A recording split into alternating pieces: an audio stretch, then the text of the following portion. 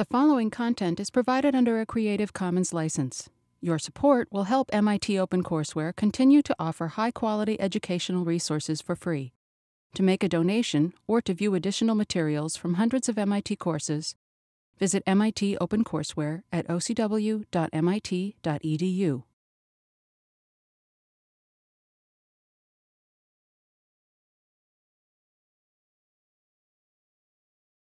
Welcome to Lecture 6. As usual, I want to start by posting some relevant reading. Um, for those of you who don't know, this lovely picture is of the uh, casino at, at, Monte Carlo. And uh, shortly you'll see why we're uh, talking about casinos and, and gambling today. Uh, not because I want to encourage you to gamble your life savings away. A little history about Monte Carlo simulation which is the topic of today's lecture. The concept was invented by the Polish American mathematician Stanislaw Ulam, uh, probably more well known for his work on thermonuclear weapons than on mathematics, but he did do a lot of very important mathematics earlier in his life. Uh, the story here starts that he was ill recovering from some serious illness and was home and was bored and was playing a lot of games of solitaire, a game I suspect you've all played. Being a mathematician, he naturally wondered what's the probability of my winning this stupid game, which I keep losing. And so he actually spent quite a lot of time trying to work out the combinatorics so that he could actually compute the probability. And despite being a really amazing mathematician, he failed. The combinatorics were just too complicated. So he thought, well, suppose I just play lots of hands, count the number I win, divide by the number of hands I played. And then he thought about it and said, well, I've already played a lot of hands and I haven't won yet. Uh, so it probably will take me years to play enough hands to, to actually get a good estimate, and I don't want to do that. So he said, well, suppose instead of playing the game, I just simulate the game on a computer. He had no idea how to use a computer, but he had friends in high places and uh, actually uh, talked to John von Neumann, who is often viewed as the inventor of the stored program computer, and said, John, could, could you do this on your fancy new ENIAC machine? And on the lower right here, you'll see a picture of, of the ENIAC. It was a very large machine. It, it filled a room. Um, and von Neumann said, sure, we could probably do it in only a few hours of computation. Uh, today, we would think of a few microseconds, but those machines were slow. Hence was born Monte Carlo simulation. And then they actually used it in the design of the hydrogen bomb. So it turned out to be not just useful for cards. So, what is Monte Carlo simulation? It's a method of estimating the values of an unknown quantity using what is called inferential statistics. And we've been using inferential statistics for the last several lectures. The key concepts, and I want to be careful about these because we'll be coming back to them, are the population. So think of the population as the universe of possible examples. So in the case of solitaire, it's a universe of all possible games of solitaire that you could possibly play. I have no idea how big that is, but it's really big. Then we take that universe, that population, and we sample it by drawing a proper subset. Proper means not the whole thing usually more than one sample to be useful, certainly more than zero. And then we make an inference about the population based upon some set of statistics we do on the sample. So the population is typically a very large set of examples, and the sample is a smaller set of examples. And the key fact that makes them work is that if we choose the sample at random, the sample will tend to exhibit the same properties as the population from which it is drawn. And that's exactly what we did with the random walk, right? There were a very large number of different random walks you could take of, say, 10,000 steps. We didn't look at all, 10, all possible random walks of 10,000 steps. We drew a small sample of, say, 100 such walks, computed the mean of those 100, and said, we think that's probably a good expectation of what the mean would be of the, all the possible walks of 10,000 steps. All right, so we were depending upon this principle. And of course, the key fact here is that the sample has to be random. If you start drawing the sample and it's not random, then there's no reason to expect it to have the same properties as that of the population. And we'll go on throughout the term and talk about the various ways you can get fooled and think you have a random sample when exactly you don't. All right, let's look at a very simple example. People like to use flipping coins because coins are, are easy. Um, so let's assume we have some coin. All right, so I brought two coins, slightly larger than the usual coin. And I can flip it, flip it once, and let's consider one flip and let's assume it came out heads. I have to say, the coin I flipped is not actually a $20 gold piece, in case any of you were thinking of stealing it. All right, so we've got one flip. And it came up heads, and now I can ask you the question if I were to flip the same coin an infinite number of times, how confident would you be about answering that all infinite flips would be heads? Or even if I were to flip it once more, how confident would you be that the next flip would be heads?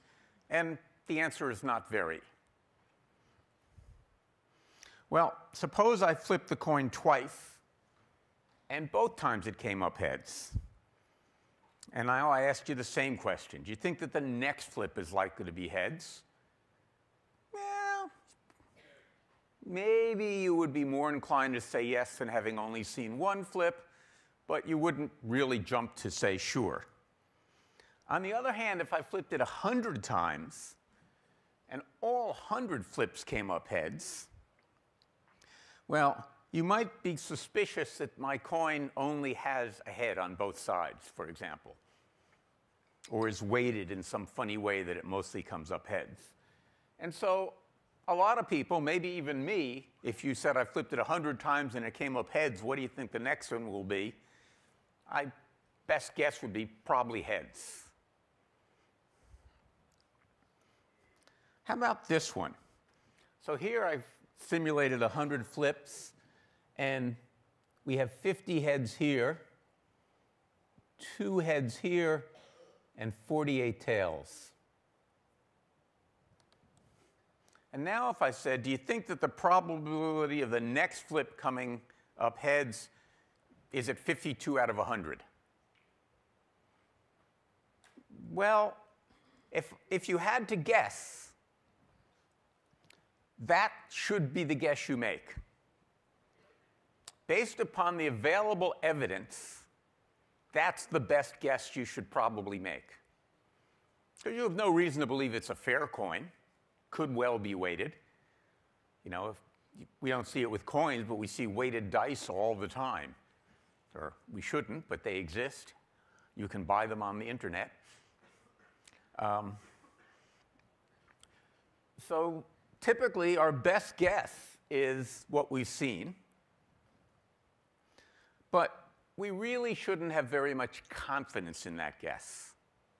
Because, well, nah, could have just been an accident. Highly unlikely, even if the coin is fair, that you'd get 50 50, right? So, why, when we see 100 samples and they all come up heads, do we feel better about guessing heads for the 101st than we did when we saw two samples? And why don't we feel so good about guessing 52 out of 100 when we've seen 100 flips that came out 52 and 48. And the answer is something called variance. When I had all heads, there was no variability in my answer. I got the same answer all the time. And so there was no variability, and that intuitively and, in fact, mathematically should make us feel confident that, okay, maybe that's really the way the world is. On the other hand, when almost half are heads and almost half are tails, there's a lot of variance. Right? it's hard to predict what the next one will be. And so we should have very little confidence that it isn't an accident that it happened to be 5248 in one direction. So as the variance grows, we need larger samples to have the same amount of confidence. All right, let's look at that with a, a detailed example. We'll look at roulette uh, in keeping with the theme of Monte Carlo simulation.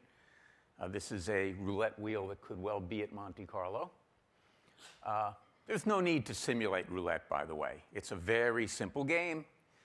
Um, but as we've seen with our earlier examples, it's nice when we're learning about simulations to simulate things where we actually can know what the actual answer is so that we can then understand our simulation better. So if you don't know how roulette is played, is there anyone here who doesn't know how roulette is played? Good for you. You grew up virtuous. All right. So, well, all right. Maybe I won't go there. All right. So you have a wheel that, that can spins around, and in the middle are a bunch of pockets. Each pocket has a number and a color. The you bet in advance on what number you think is going to come up or what color you think is going to come up. Then somebody drops a ball in that wheel, gives it a spin. And through centrifugal force, the ball stays on the outside for a while, but as the wheel slows down, it heads towards the middle. And eventually it settles in one of those pockets, and you win or you lose.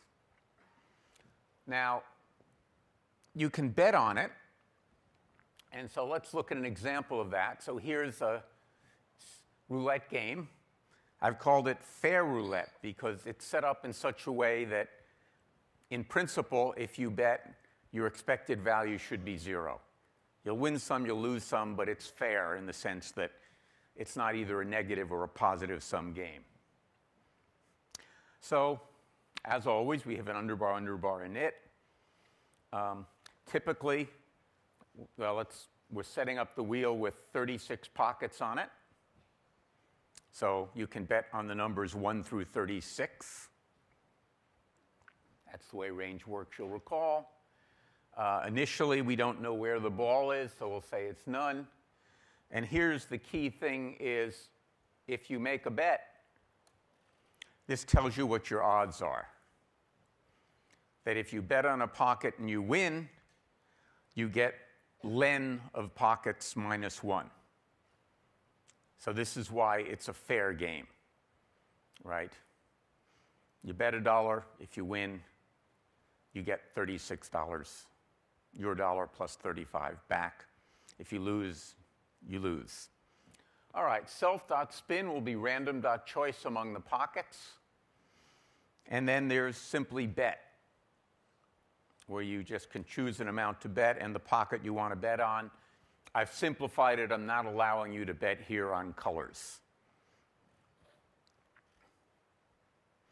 All right, so then we can play it. So here's play roulette. Uh, I've made game the class a parameter because later we'll look at other kinds of roulette games.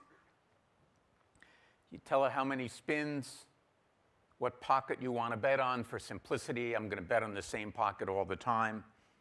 Pick your favorite lucky number and how much you want to bet. And then we'll have a simulation just like the ones we've already looked at. So the number you get right starts at zero. For i in range number of spins, we'll do a spin. And then tote pocket plus equal game dot bet pocket. It'll come back either zero if you've lost or 35 if you've won. And then we'll just print the results. So we can do it. Um, in fact, let's run it.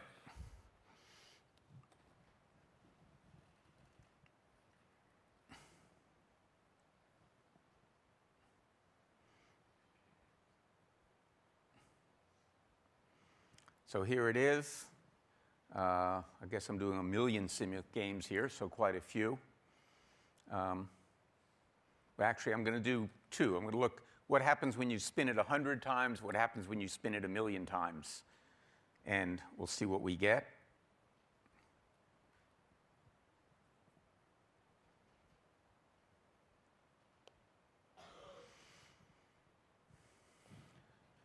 So what we see here is that we do 100 spins.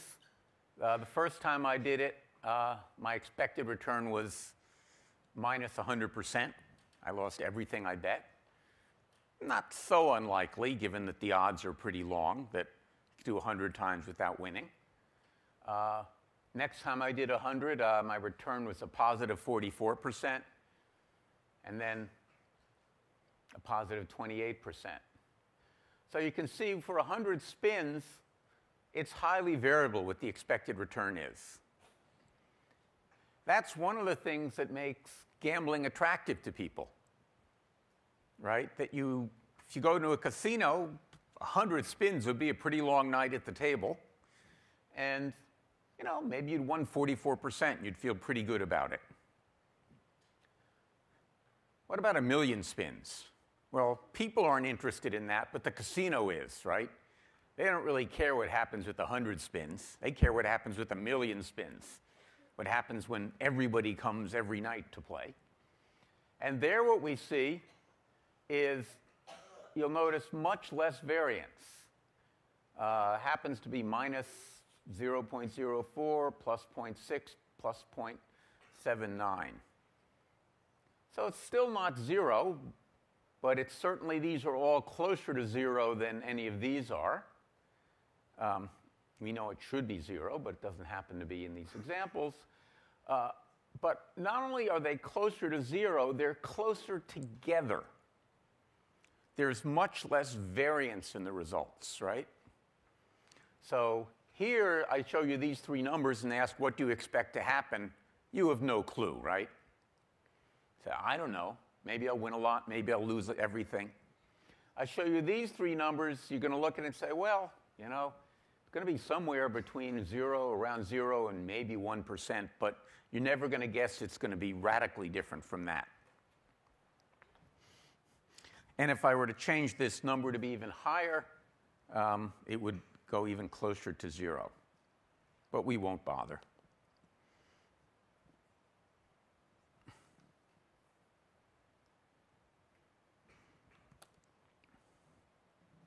Okay, so these are the, uh, yeah, these are the numbers we just looked at because I set the seed to be the same. So, what's going on here is something called the law of large numbers, uh, or sometimes Bernoulli's law. This is a picture of Bernoulli on this stamp. Um, it's one of the two most important theorems in all of statistics, and we'll come to the second most important theorem in the next lecture. Uh, here it says in repeated independent tests with the same actual probability, the chance that the fraction of times the outcome differs from p converges to zero as the number of trials goes to infinity. So this says if I were to spin this roulette, fair roulette wheel an infinite number of times, the expected return, the return would be zero. The real true probability from the mathematics. Well, infinite is a lot. But a million is getting closer to infinite. And what this says is the closer I get to infinite, the closer it will be to the true probability. So that's why we did better with a million than with a hundred. And if I did a hundred million, we'd do way better than I did with a million. I want to take a minute to talk about a way this law is often misunderstood. This is something called the gambler's fallacy. And all you have to do is say, let's go watch a sporting event. And you'll watch a batter strike out for the sixth consecutive time. The next time they come to the plate, the idiot announcer says, Well, he struck out six times in a row. He's due for a hit this time because he's usually a pretty good hitter. Well, that's nonsense. Says people somehow believe that if deviations from expected occur, they'll be evened out in the future. And we'll see something similar to this that is true, but this is not true. Uh, and there's a great story about it. This is told in a book by Huff and Geis. Uh, and this truly happened in Monte Carlo with roulette. And you could either bet on black or red. Black came up 26 times in a row.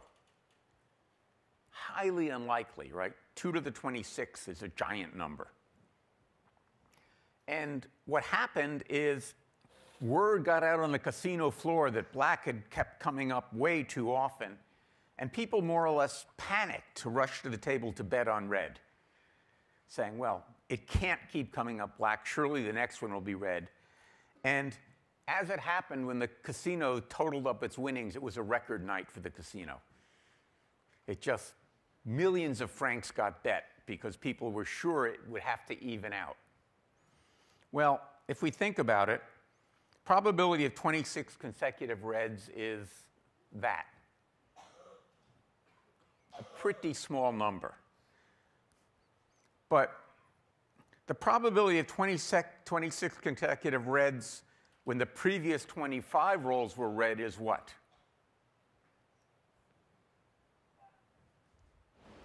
No, that.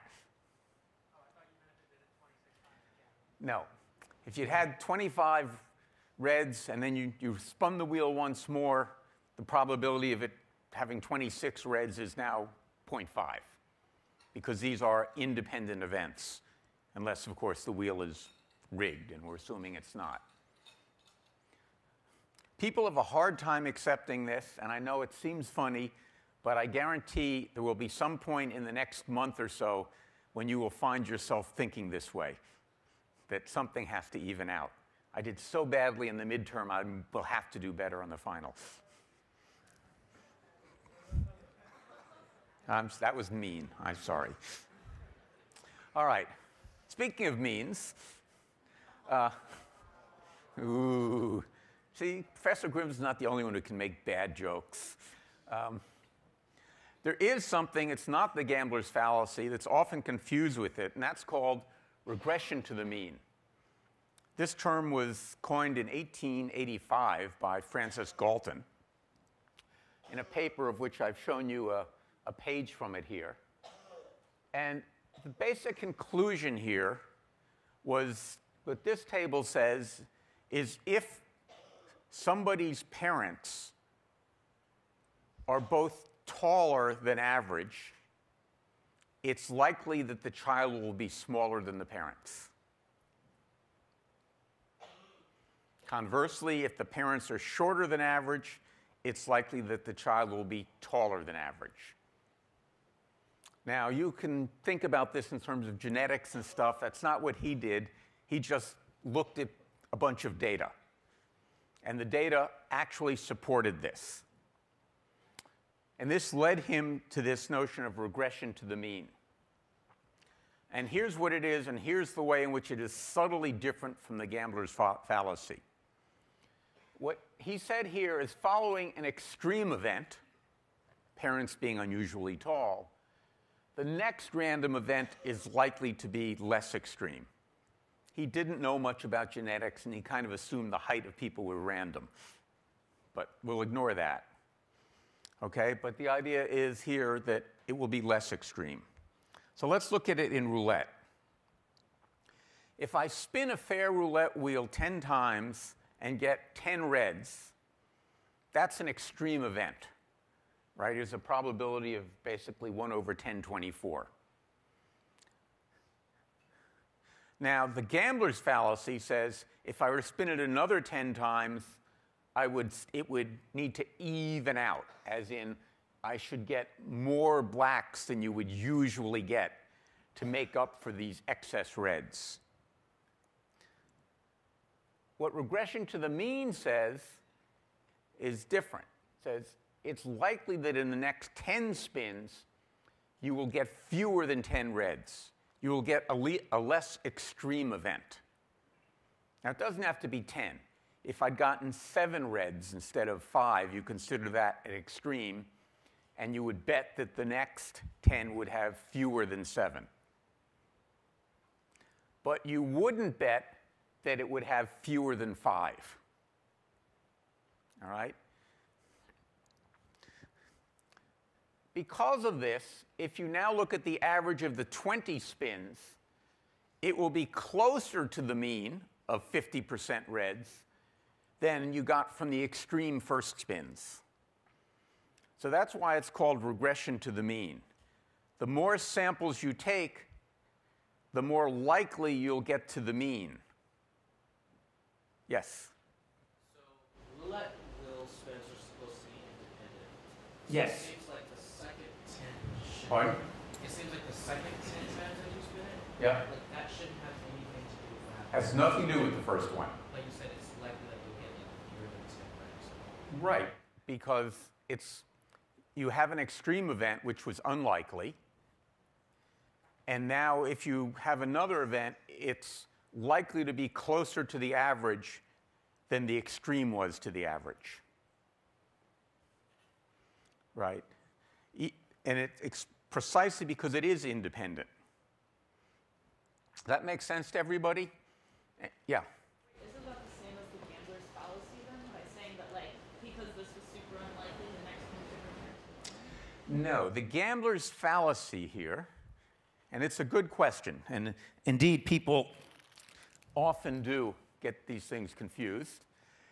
The gambler's fallacy would say that the second 10 spins would we would expect to have fewer than 5 reds because you're trying to even out the unusual number of reds in the first spin right? Whereas here we're not saying we would have fewer than five, we're saying we'd probably have fewer than 10, that it'll be closer to the mean, not that it would be below the mean. Whereas the gambler's fallacy would say it should be below the mean to, quote, even out the first 10. Does that make sense? Okay, great questions. Thank you. All right, now, you may not know this, but casinos are not in the business of being fair. Um, and the way they don't do that is in Europe, they're not all red and black. They sneak, sneak in one green. And so now, if you bet red, well, sometimes it isn't always red or black. And furthermore, there's this zero. They index from zero rather than from one. And so you don't get a full payoff. In American roulette, they manage to sneak in two greens. They have a zero and a double zero, uh, tilting the odds even favor, even more in favor of the casino. So we can do that in our simulation. We'll look at European roulette as a subclass of fair roulette. I've just added this extra pocket zero. Uh, and notice I have not changed the odds. So what you get if you get your number is no higher, but you're a little bit less likely to get it because we snuck in that zero. Then American roulette's a subclass of European roulette in which I add yet another pocket. All right, we can simulate those. Again, nice thing about simulations, we can play these games. So I've simulated 10, 10 20 trials of 1,000 spins, 10,000 spins, 100,000, and a million. And what do we see as we look at this? Well, right away we can see that uh, fair roulette is usually a much better bet than either of the other two. That even with only 1,000 spins, the return is negative. And as we get more and more, as I got to a million, it starts to look much more like closer to zero. And these, we have reason to believe at least, are much closer to your true, true expectation, saying that while you break even in fair roulette, you'll lose 2.7% in Europe and over 5% in Las Vegas or soon in Massachusetts. All right. We're sampling, right? That's why the results will change, and if I ran a different simulation with a different seed, I'd get different numbers. Whenever you're sampling, you can't be guaranteed to get perfect accuracy. It's always possible you get a weird sample. That's not to say that you won't get exactly the right answer. I might have spun the wheel twice and happened to get the exact right answer of the return. Actually, not twice because the math doesn't work out, but 35 times and gotten exactly the right answer. But that's not the point. We need to be able to differentiate between what happens to be true and what we actually know in a rigorous sense is true, or have maybe don't know it, but have real good reason to believe it's true. Right? So it's not just a question of faith. And that gets us to what's, in some sense, the fundamental question of all computational statistics is how many samples do we need to look at before we can have real justifiable confidence in our answer? As we've just seen, not just a few minutes ago with the coins, our intuition tells us that it depends upon the variability in the underlying possibilities. So let's look at that more carefully. We have to look at the variation in the data. So let's look at first something called variance. So this is variance of x. Think of x as just a list of data uh, examples, data items. And the variance is we first compute the average of value, that's mu. So mu is for the mean.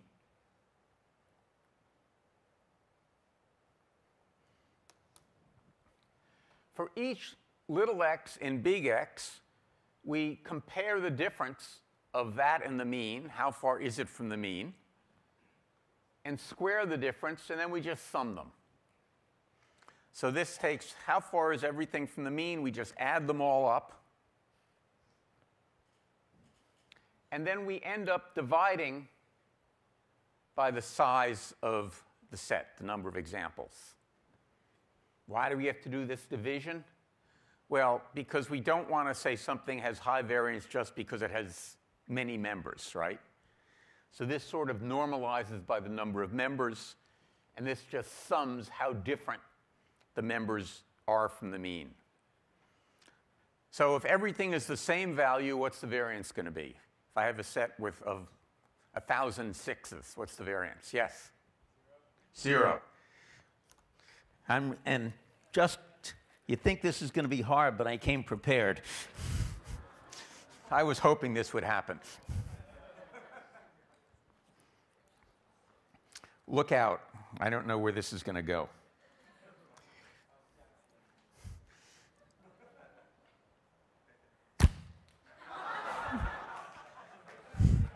All right. Maybe it isn't the best technology. I'll, I'll go home and practice. All right, so, and then the thing you're more familiar with is the standard deviation. And if you look what the standard deviation is, it's simply the square root of the variance. Now, let's understand this a little bit and first ask, why am I squaring this here, especially because later on I'm just going to take the, square root anyway? Well, squaring it has one virtue, which is that it means I don't care whether the difference is positive or negative, right? And I shouldn't, right? The variance, I don't care which side of the mean it's on, I just care it's not near the mean. But if that's all I wanted to do, I could take the absolute value. The other thing we see with squaring is it gives the outliers extra emphasis because I'm squaring that distance. Now, you can think that's good or bad, but it's worth knowing it's a fact. The more important thing to think about is standard deviation all by itself is a meaningless number. You always have to think about it in the context of the mean.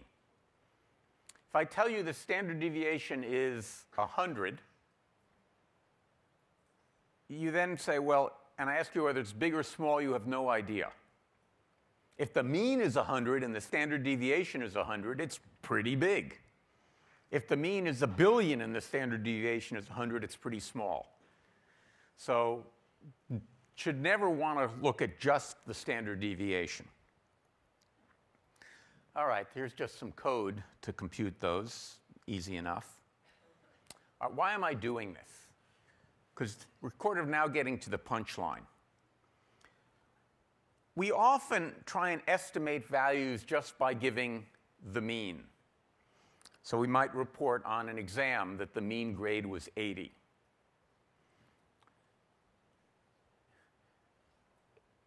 it's better, instead of trying to describe an unknown value by a, an unknown parameter by a single value, say the expected return on, on betting a roulette wheel, to provide a confidence interval.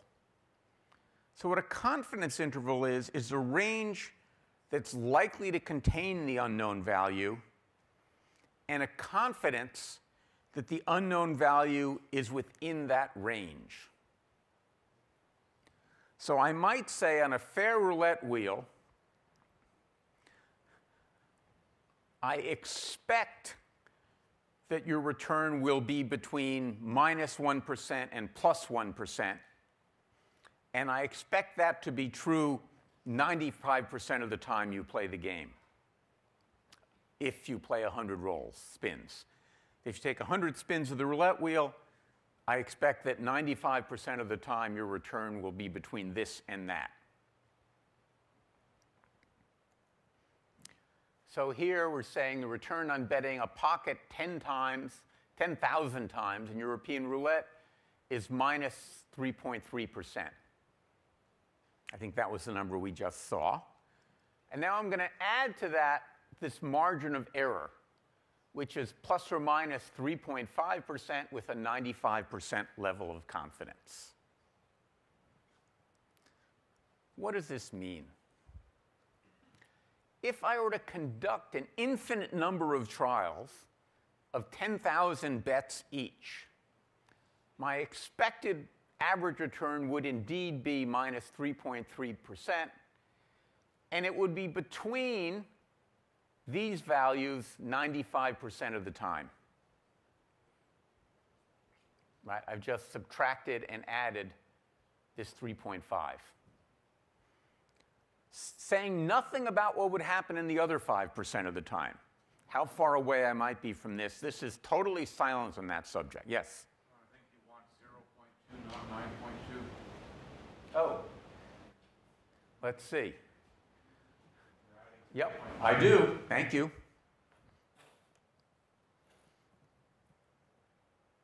We'll fix it on the spot. This is why you have to come to lecture rather than just reading the slides, because I make mistakes. Thank you, Eric.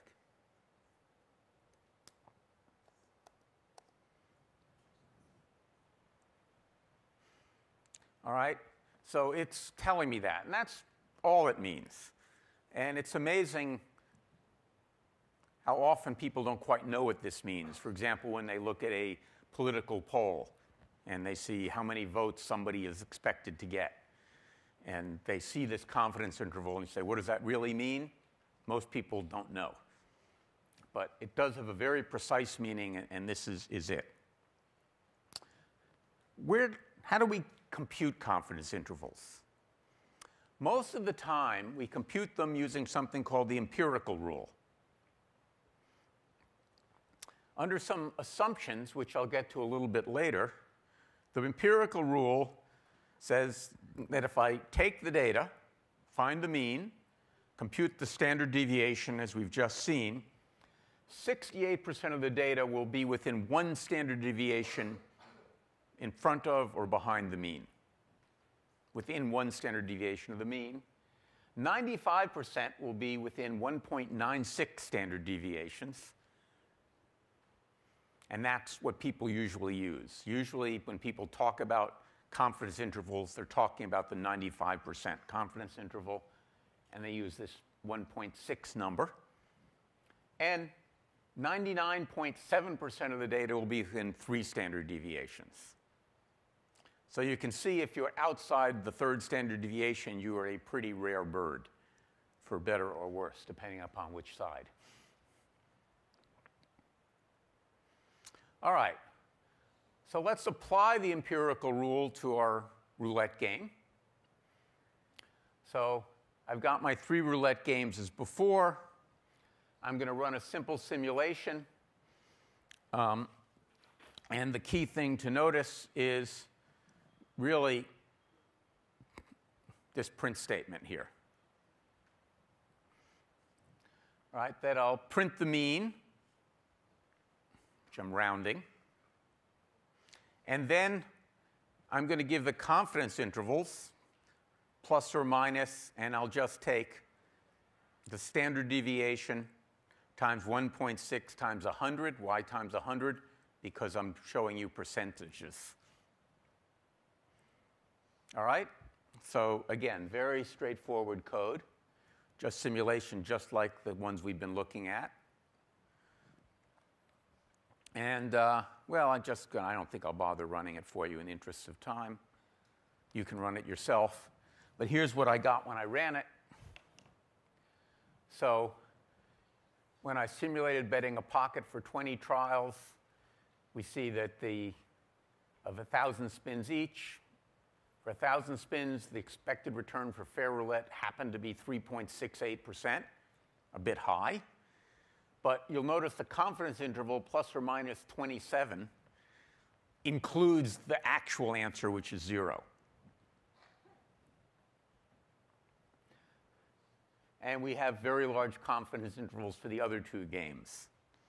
If we go way down to the bottom, where I've spun, spun the wheel many more times, what we'll see is that my expected return, return for fair roulette is much closer to zero than it was here. But more importantly, my confidence interval is much smaller, 0.8. So now I really have constrained it pretty well. Similarly, for the other two games, you will see maybe it's more accurate, maybe it's less accurate, but importantly, the confidence interval is smaller. So I have good reason to believe that the mean I'm computing is close to the true mean because my confidence interval has shrunk. So that's the really important concept here, is that we don't just guess, compute the value in the simulation, we use, in this case, the empirical rule to tell us how much faith we should have in that value. All right, the empirical rule doesn't always work. There are a couple of assumptions. One is that the mean estimation error is zero. What is that saying? That I'm just as likely to guess high as guess low. Uh, in most experiments of this sort, most simulations, that's a very fair assumption, right? There's no reason to be, guess I'd be systematically off in one direction or another. It's different when you use this in a laboratory experiment, where in fact, depending upon your laboratory technique, there may be a bias in your results in one direction. So we have to assume that there's no bias in our errors. And we have to assume that the distribution of errors is normal. And we'll come back to this in just a second, but this is a normal distribution called the Gaussian. Okay. Under those two assumptions, the empirical rule will always hold. All right, let's talk about distributions since I just introduced one. Um, we've been using a probability distribution And this captures the notion of the relative frequency with which some random variable takes on different values. There are two kinds, discrete, and these when the values are drawn from a finite set of values. So when I flip these coins, there are only two possible values, head or tails. And so if we look at the distribution of heads and tails, uh, it's pretty simple. We just list the probability of heads, we list the probability of tails. We know that those two probabilities must add up to 1, and that fully describes our distribution. Continuous random variables are a bit trickier. They're drawn from a set of reals between two numbers. For the sake of argument, let's say those two numbers are 0 and 1. Well, we can't just enumerate the probability for each of number. How many real numbers are there between 0 and 1? An infinite number, right? And so I can't say for each of these infinite numbers what's the probability of it occurring. Actually, the probability is close to zero for each of them. Prob is zero if they're truly infinite. So I need to do something else. And what I do that is what's called a probability density function. This is a different kind of PDF than the one Adobe sells. Um, so there, we don't give the probability of the random variable taking on a specific value. We give the probability of it lying somewhere between two values. And then we define a curve which shows how it works. So let, us look at an example. So we'll go back to normal distributions. This is, for the continuous normal distribution, it's described by this function. And for those of you who don't know about the magic number e, it's, this is one of many ways to define it. But I really don't care whether you remember this. I don't care whether you know what E is. I don't care if you know what this is. What we really want to say is it looks like this. It's, in this case, the mean is zero. It doesn't have to be zero. I've shown a mean of zero and a standard deviation of one. This is called the so-called standard normal distribution. But it's symmetric around the mean. And that gets back to it's equally likely that our errors are in either direction, right? So it's peaks at the mean. The peak is always at the mean. That's the most probable value, and it's symmetric about the mean. So if we look at it, for example, and I say, what's the probability of the number being, being between 0 and 1? I can look at it here and say, all right, let's draw a line here and a line here. And then I can integrate the curve under here, and that tells me the probability of this random variable between, being between 0 and 1. If I want to know it between minus 1 and 1, I just do this, and then I integrate over that area. All right, so the area under the curve, in this case, defines the likelihood. Now I have to divide and normalize to actually get the answer between 0 and 1. So the question is, what fraction of the area under the curve is between minus 1 and 1? And that will tell me the probability. So what does the empirical rule tell us? What fraction is between minus 1 and 1, roughly? Yeah. 68%, right? So that tells me 68% of the area under this curve is between minus 1 and 1 because my standard deviation is 1, roughly 68%. And maybe your eyes will convince you that's a, a reasonable guess. Okay, we'll come back and look at this in a bit more detail on, on Monday of next week and also look at the question of why does this work in so many cases where we don't actually have a normal distribution to start with?